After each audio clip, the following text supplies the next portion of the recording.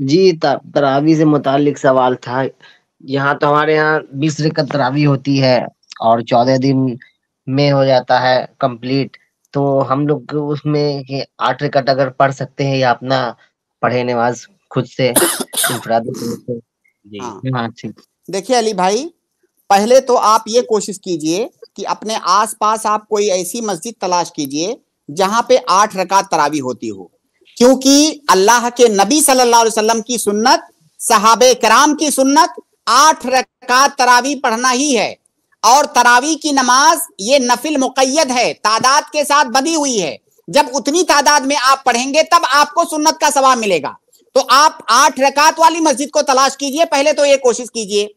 अब फ़र्ज़ कीजिए आपके आसपास में ऐसी कोई मस्जिद नहीं है। जितनी मस्जिदें हैं सब में बीस रकात तरावी होती है।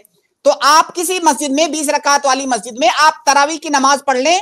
आप ये करें कि जब आठ रकात इमाम खत्म कर ले तो आप जो है, आठ रकात के बाद आपकी तरावी खत्म हो गई अब। अब इमाम ज़ाहिर है, नौवीं और दसवीं रकात के लिए खड़ा होगा। जब इमाम नौवीं और दसवीं रकात के लिए खड़ा हो तो आप उसके साथ वित्र की नीयत से शामिल हो जाएँ। आप उसके साथ वित्र की नीयत से शामिल हो जाएँ, दो रकात उसके साथ पढ़ें फिर दो रकात से सलाम फेरने के बाद एक रकात आप अलग हो करके पढ़ सकते हैं। इस तरह आपकी तीन रकात वित्र हो गई। एक तरीका यह है। दूसरा तरीका यह है कि आठ रकात पढ़ करके आप अलग हो जाइए। आप मस्जिद ही के अंदर या घर में जाकर के या रात के बाद में किसी और हिस्से में आप वित्र की नमाज़ पढ़ लें।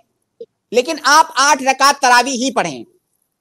शेख अरशद यहाँ पर एक एतराज़ ये किया जा सकता है जिसको मैं ज़िक्र करके आ, उसका जवाब भी बता दूँ वरना कई लोगों के जहन में इश्काल आएगा। अभी इस सवाल से पहले एक सवाल के जवाब में मैंने ये अर्ज़ किया कि हमको इमाम के साथ उस वक्त तक नमाज़ पढ़नी है जब तक इमाम नमाज़ खत्म ना कर ले।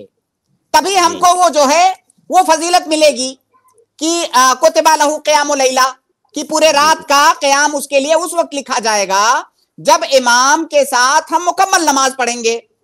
अब यहाँ पे तो मैंने अभी कहा कि भाई आठ रकात पढ़ के आप अलग हो जाइए इमाम को छोड़ दीजिए। तो फिर आपके लिए क्या पूरी रात का क्याम लिखा जाएगा कि नहीं? क्योंकि इमाम को तो आपने दरमियान में छोड़ दिया। ये कोई इश्काल डाल सकता है। इसका जवाब यह है कि अगर इमाम सुन्नत के मुताबिक तादाद पढ़ रहा है तरावी की तब तो आप मुकम्मल उसके साथ पढ़ें। दरमियान में अगर आप छोड़ रहे हैं तो आपको वो फजीलत नहीं मिलेगी जो पूरी रात क्याम की फजीलत है। लेकिन जब इमाम सुन्नत की मुखालफत कर रहा है तो सुन्नत की मुखालफत में हम उसका साथ नहीं देंगे। गोया कि जो इमाम को छोड़ करके हम अलग हो रहे हैं उसका एक सबब है। और किसी सबब की बुनियाद पर इमाम का साथ छोड़ना यह जायज़ है। इसकी मिसालें भी मौजूद हैं कि किसी सबब की वजह से मुख्तदी ने इमाम का साथ छोड़ दिया। मैं उसकी मिसाल आपको देता हूँ। एक सहाबी थे आ, वो नमाज़ पढ़ रहे थे आ, मामूम थे मुख्तदी थे। इमाम ने बहुत लंबी कैरत की। गालिबन वो मुआद इब्ने जबल थे। इमाम की हैसियत से जी। तो जब बहुत लंबी कैरत उन्होंने किया वो सहाबी किसान थे दिन भर काम करते थे थके हुए रहते थे। जब वो लंबी कैरत करने लगे तो दरमियान में वो छोड़ के चले गए। अपनी नमाज़ जाके अलग पढ़ा उन्होंने और अल्लाह के नबी वसल्लम की खिदमत में शिकायत किया कि ये लंबी लंबी नमाज़ पढ़ाते हैं और हम थके हुए होते हैं। तो अल्लाह के नबी वसल्लम ने सरजनिश की मुआज इब्ने जबल की। कहा क्या तुम लोगों को फितने में डालना चाहते हो?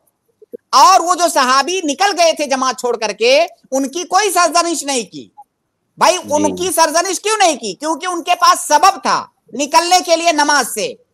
तो अगर आपके पास सबब है निकलने के लिए तो आप दरमियान में इमाम का साथ छोड़ सकते हैं। अब इमाम जब सुन्नत की मुखालफत कर रहा है तादाद में तो आप दरमियान में उसको छोड़ दीजिए इनशाला वो अजर आपके लिए लिखा जाएगा। इनशाला जी मसला ये मसला ये है कि आप स्पीड भी बहुत ज़्यादा रहता है यहाँ पर किरात का। हाँ ये ये भी मसला है ये अलग मसला है इस पर हम अभी आए नहीं हैं ये अलग मसला है बीस रकात तरावी का। ऐसी स्पीड में पढ़ते हैं कि ना तो कुरान के कलिमात और उसके हरूफ और उसके मखारिज को उनका हक दिया जाता है। आप कई सारी मस्जिदों में तो कुरान पढ़ने को नौज बिल्ला खिलवाड़ बना दिया जाता है। ऐसे लग रहा है जैसे कोई रेस हो रहा। जबकि अल्लाह के नबी सल्लल्लाहु अलैहि वसल्लम लंबी लंबी नमाज़ पढ़ते थे आ, जो है साहब कराम का भी यही तरीका था कि क्यामुल वो लंबी लंबी करते थे। तो उन सारी सुन्नतों पर उन सारी सुन्नतों को छोड़ दिया जाता है। फकत इसलिए कि बीस रकात पढ़नी है। तो ये तरीका भी गलत है।